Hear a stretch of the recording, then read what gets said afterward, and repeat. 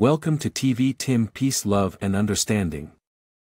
Ja men hej där ute på en sån här molnig torsdag. Här har ni mig igen, borgmästaren av Falafel City. Snart 4 000 prenumeranter. Jag tycker dock att jag borde haft det och fler där till för länge, länge sedan. Men så är det med de här bolagen som håller hårt i oss. Det är dålig stil. Okej, tyvärr blir det ingen live idag. Jag har ju sagt det tidigare att någon gång kommer jag inte kunna köra torsdagar. Det bara är så. Är man inte hemma är man inte hemma och är man bland mycket folk så går det inte på det sättet. Jag var ju på Malmö Arena i tisdags när Malmö skulle ha tagit sin fjärde raka seger mot Brynäs för att inte åka ur SHL. Elitserien som jag hellre kallar det fortfarande i hockey. Sweden Hockey League. Varför ska vi heta som i USA? NHL, SHL. Ja. Nu är det så i alla fall. Men i femte perioden lyckades Brynäs göra ett mål, 4-3, och vann. De tog sista chansen.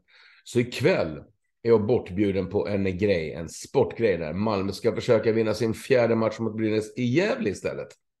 Och eh, ja, gör de inte det, då blir det jobbigt. Då blir det fullsatt igen på Malmö Arena. Det var nästan 13 000 där i tisdags. Vinner Brynäs idag, då står det 3-2 till Malmö. Då har vi sista chansen hemma på lördag.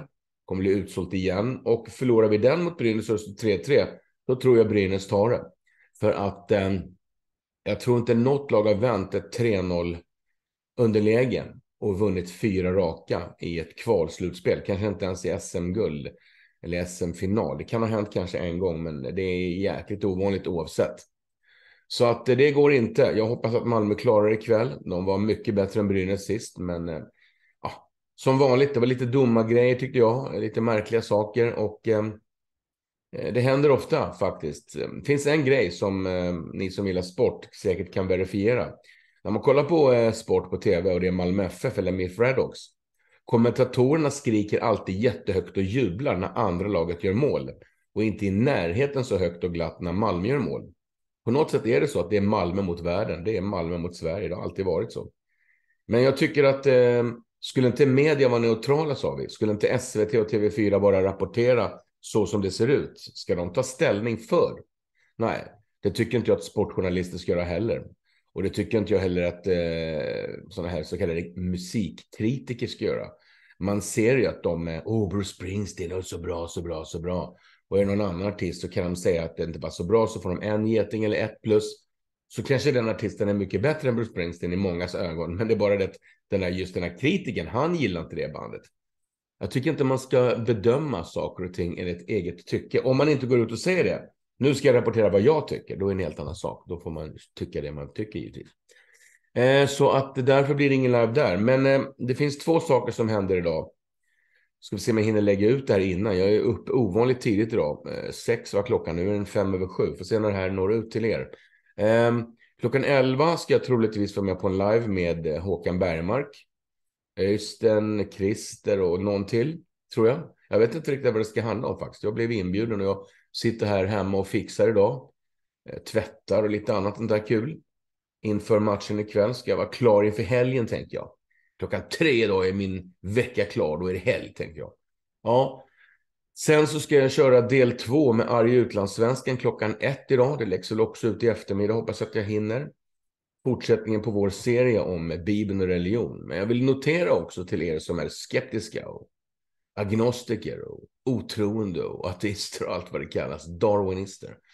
Det kommer extremt mycket vetenskap, arkeologi och eh, den typen av ämnen. Jag kommer ta upp en hel del om vetenskap idag. Vad säger vetenskapen? Har det gått eller går att skapa liv eller är den frågan fortfarande öppen? Och eh, hur kommer det sig att vetenskapsmän, i stort sett så kallade vetenskapsmän, eh, de har ju fel nästan jämt. Varje årtionden så revideras saker som var fakta förut, så att det är ju inte fakta. Det är ju vad man har kommit fram till hittills. Men Bibeln består. Det är samma text hela tiden. Och den är alltid akkurat gentemot riktig fakta. Så den vetenskapen som inte går att ändra på, till exempel H2O är vatten, så är det bara. Och eh, man kan inte se vinden, men den känns. Och jorden är rund med mera. Och tvättar man inte händerna i rinnande vatten, som man inte gjorde på 1400-talet och 1500-talet och 1600-talet och 1700-talet. Men man kunde göra det med system som fanns då. gjorde man för flera tusen år sedan. Men när man inte gjorde det i skitiga sjukhus, utan man tvättade händerna i badbaljer och sådär när man var patolog och så gick man in och förlöste ett barn. Så blev det bakterier, smet in där i mufsarna så dog eh, mamman efter några dagar. Eh, det lärde man sig snabbt då. Karantän när det gäller vissa sjukdomar och sånt där. Det har stått i Bibeln i tusentals år. Det har inte blivit ett vetenskapligt fakta förrän på 1800-1900-talet. Om det och mycket mer och bibliska saker och ting ska vi prata om idag i del två, jag och Arje. Fått jättemycket positiva mejl om den här serien. Folk är förväntansfulla och hoppas att vi ska köra vidare. Och det gör vi, såklart.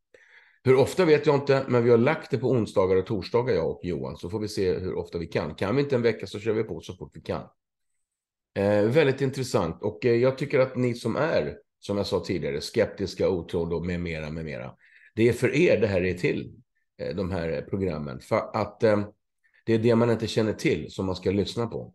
Jag kommer att länka en del intressanta saker med Jordan Peterson och jag kommer att länka en vetenskapsman som förklarar väldigt tydligt det här med livets uppkomst och eh, ja, procent, möjligheter och eh, ja, koder för allt möjligt, DNA och så vidare. Livets uppkomst. Mycket intressant. Då ska jag också förklara nu på en gång hur man gör eh, en gång till. Eh, jag ser att flera har lärt sig det. Om ni då vill ha textning på det som jag länkar, då trycker man alltså på den här lilla textgrejen där nere under skärmen innan ni har helskärm.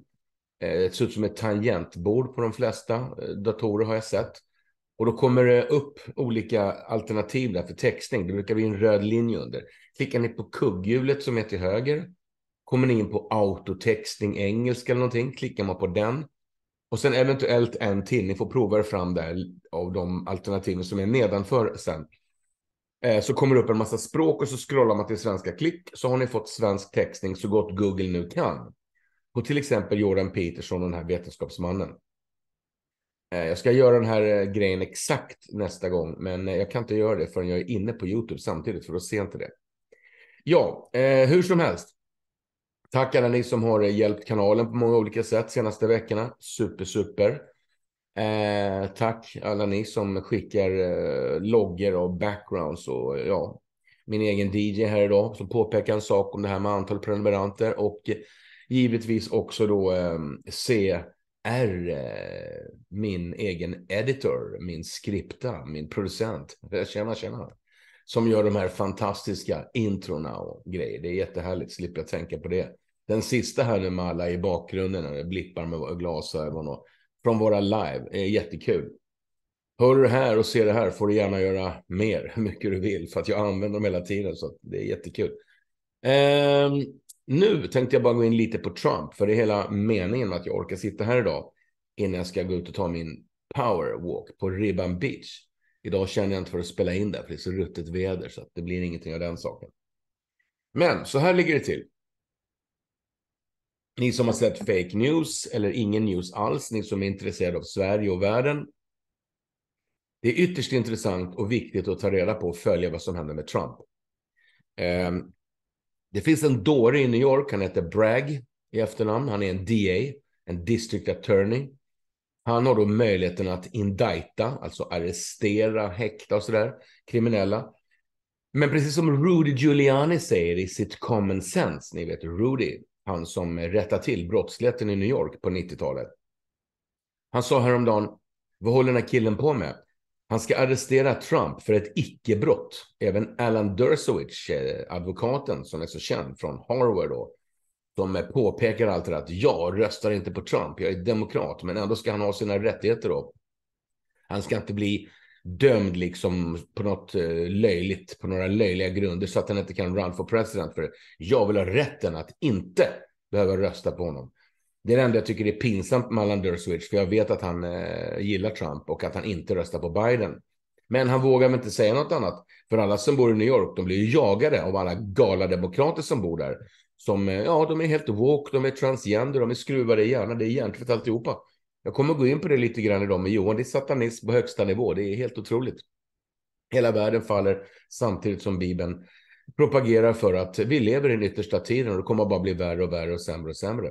Nej, Johan, jag ska inte ta över hela vårt avsnitt redan, men ibland kommer man in på sådana uppenbara faktum, fakta, förra i verkligheten. Ehm, men då är det så här att de här woke, eh, Maffian och de här, de gick ut med det liksom, nej, vi ska inte arrestera kriminella. Det ska inte vara olagligt att sno grejer i Louis Vuitton-butiker och andra lyxbutiker. Upp till 1000 dollar får man inget straff. Har du skjutit någon? Jaha, säger du att det var ett misstag? Ja, det blir ingen häktning, ingen borgen. Släpp ut dem bara. Så att den här Bragg och den här galningen, eh, vad hon heter, eh, Tisha, Latisha, som också gick till val på att jag ska sätta dit Trump, jag ska sätta dit Trump, jag ska sätta dit Trump. Enda hon sa som ett mantra. Ja, det är kriminellt, det är olagligt, man får inte gå till val på det, men de vann sina val på grund av det. Men precis som många andra galna vänsterlibbar så är de out ganska snart. Under 2024 så kommer den här skiten att rensas bort. Okej, okay, då är det så här. Trump gick ju ut och sa jag kommer bli arresterad nästa tisdag. Det var igår. Eh, han har givetvis en plan med det här. Jag har lyssnat på Trumps närmsta advokater sista dagarna. De försöker lite grann downplay. De spelar ner det här att Trump inte vill bli arresterad. Klart att han inte vill bli arresterad, säger de. Jag vet inte riktigt med Trump. Alltså. Han skulle nog gärna vilja bli arresterad. Och står där med en mugshot, ni vet det. Fotot, eh, bilden de tar på en där när man står i häktet med siffrorna där nere. Björnligan bara 336-489, klick. Och så gör han en sån här maga eller någonting. jag tror Trump hade gillat det. Därför att det är så många som säger att om han skulle bli arresterad, då har han redan vunnit valet 2024.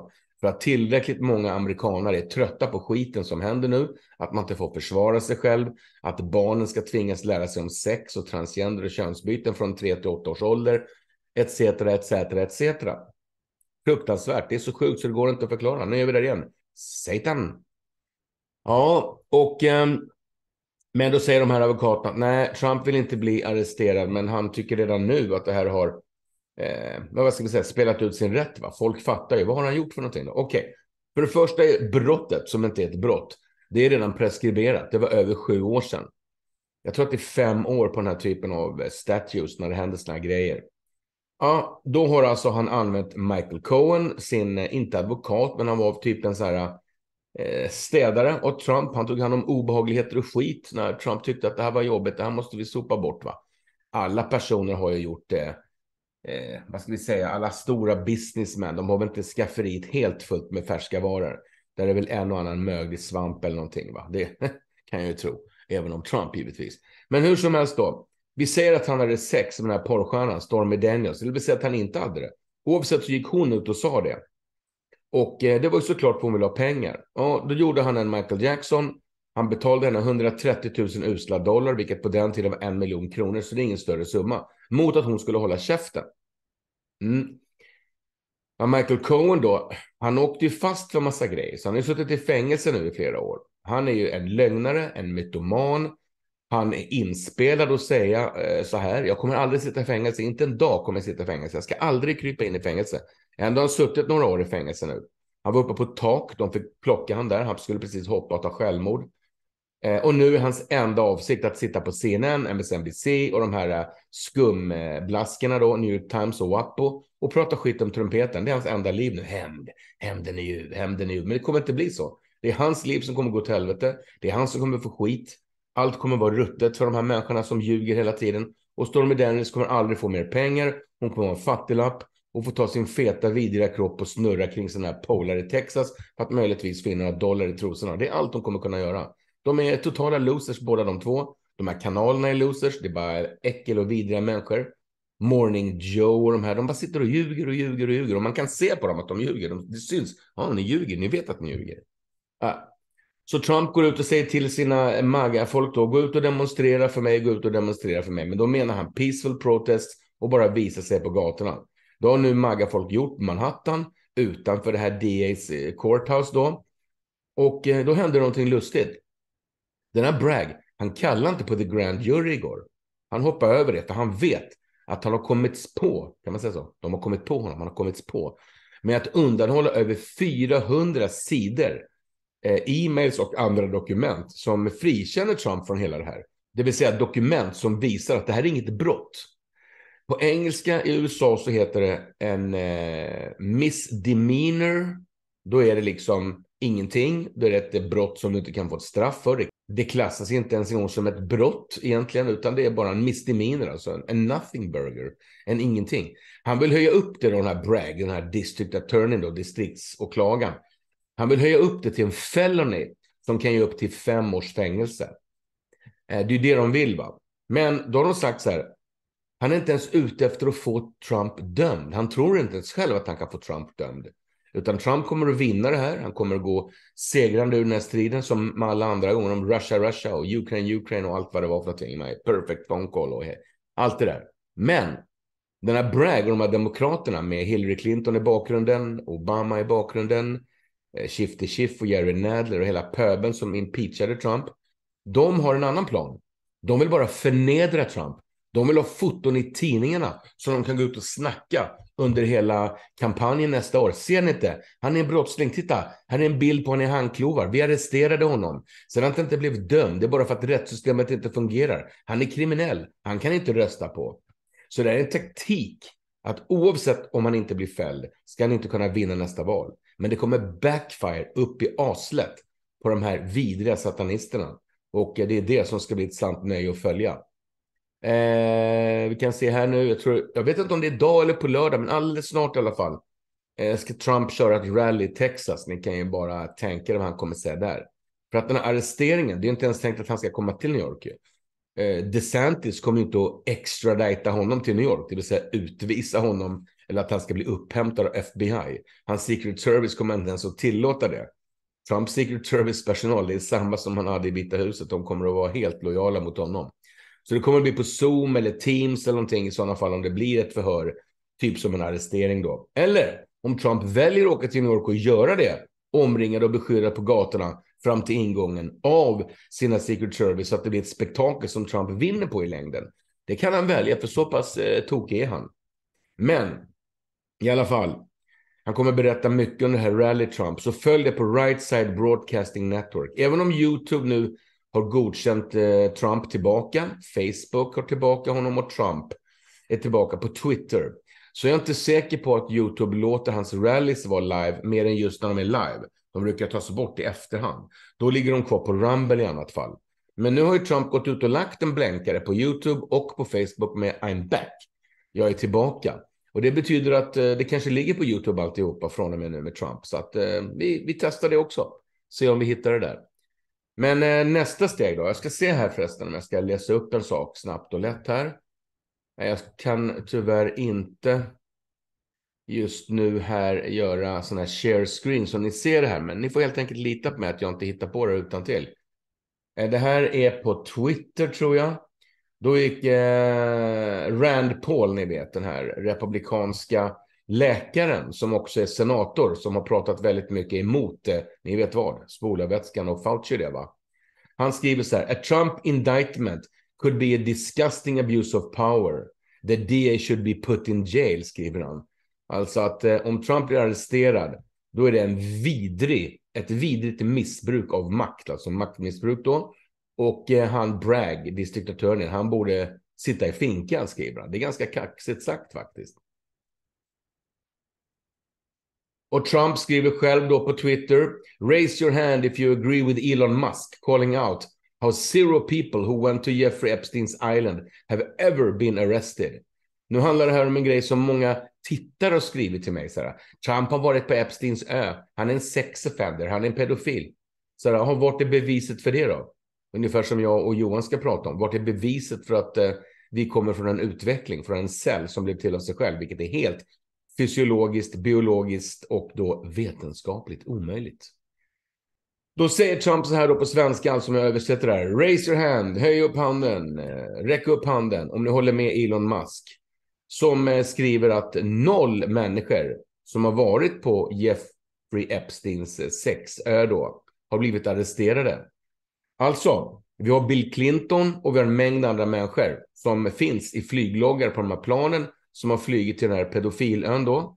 Epstein som troligtvis blev mördad i sin fängelsecell. De säger självmord, men jag tror inte på det. Det är inte många som gör det.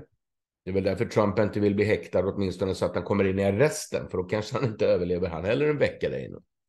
Men hur som helst, Trump menar ju då, ska jag alltså bli arresterad för att ha betalt en brud 130 000 dollar? Det är inte ens olagligt. Men då säger de så här, men vadå, nej det är inte det vi menar. Du har använt dig av kampanjpengar. Nej, det har han inte alls gjort. Han har till och med betalt ur egen ficka till den här Michael Cohen. Den här äh, vidriga, ljugande så kallade advokaten som har suttit i finkan i alla år, eller i flera år nu, som har ljugit om Trump och sitter nu på CNN och ljuger vidare.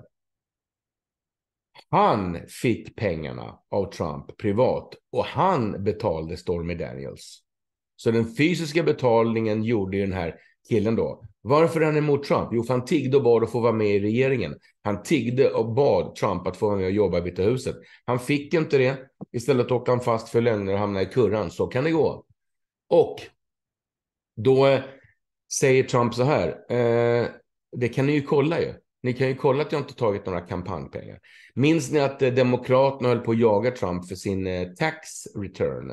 Sin skattedeklaration. Den fick de ju nu för några månader sedan. Efter alla dessa år när Trump sa IRS, skattemyndigheten utreder mig. Jag har fått råd av mina advokater att inte släppa den offentligt så länge det är utredning. Nu fick de tag på Trumps eh, deklarationer de senaste sex åren. Har ni hört något? Har ni hört något? Har ni sett något på nyheterna? Vet ni varför ni inte har sett något? För de var straight, clean och inget fuskande. Han sköter ju såklart sina business så att den inte kan åka fast. Det kan ju en dum jävel räkna ut. Då vill, de, då vill de alltså hävda att Trump har betalt henne för att kunna vinna valet 2016. Alltså att det här ska inte komma ut då så att det ungefär som att eh, Trump ville ju att den här Laptop from Hell med Hunter Biden skulle komma ut innan valet 2020. För då har det väldigt många demokrater inte röstat på eh, Joe Biden. Men kolla den här.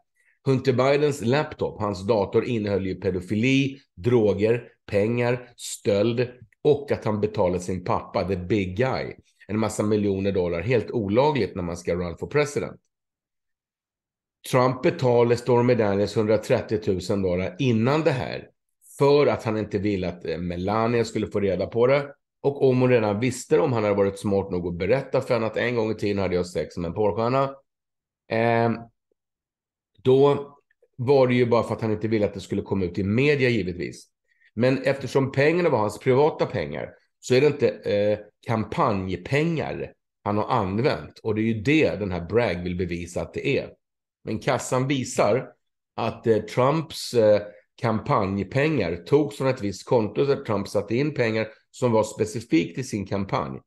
Och det gick eh, ja, ett par hundra miljoner dollar i egen ficka för Trump där. Så procenten, flera hundra miljoner dollar och 130 000 dollar, det är så fjuttigt så det, det går inte ens att märka. Men har de kollat igenom Trumps konto, det finns inga 130 000 dollar till någon där. Så att Michael Cohen har ju använt pengar som Trump gav till honom för att betala den här tjejen. Man kan tycka att det är fullt, man kan tycka vad som helst. Men det är inte brottsligt och det är ingenting man kan bli arresterad för. Och det är ingenting som gör att han inte får lov att run for president nu 2024. Ja, jag sa ju tidigare att det här påverkar Sverige också. Hur då kan man tycka? Ja, det är bara att se på det här med NATO, EU, kriget med Ryssland. Xi har varit nu flera dagar i Moskva, träffat Putin och de har sin alliance på gång.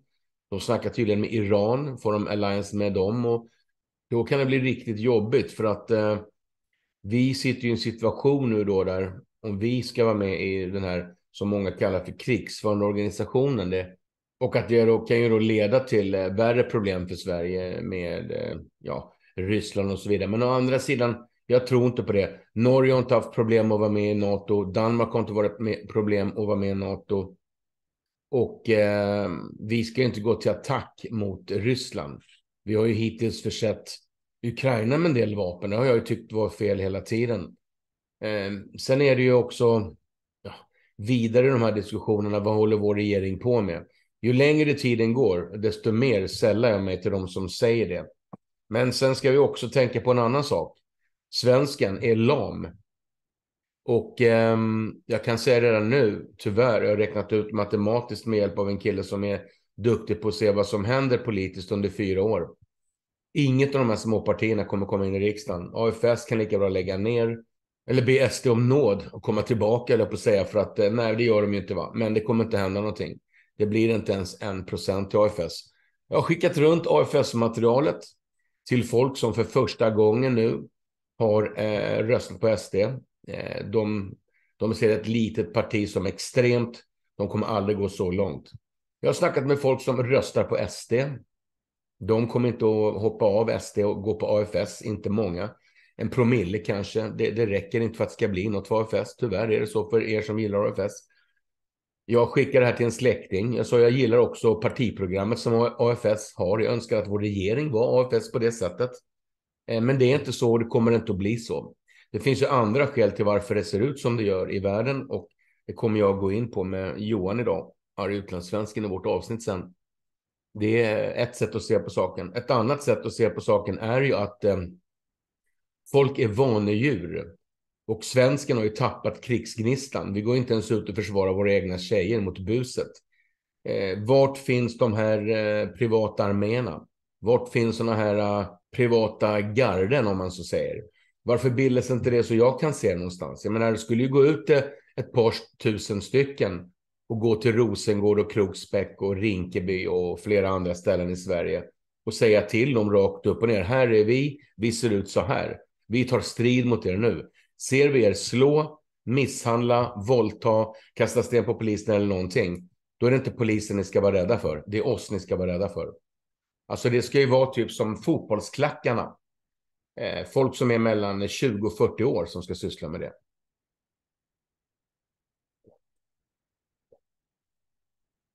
Men det kommer inte att hända. Så därför har vi inga andra utsikter än att eh, det är som det är helt enkelt. Okej, okay, nu ska jag ta en break och fixa lite andra grejer. Nog med babbel idag. Så eh, ses vi i eh, vidare lives och i avsnitt här på TV Team Sweden och andra kanaler också för den delen. Ha det bra så länge. Peace, love and understanding till er alla där ute idag. Welcome to TV Tim Peace, Love and Understanding.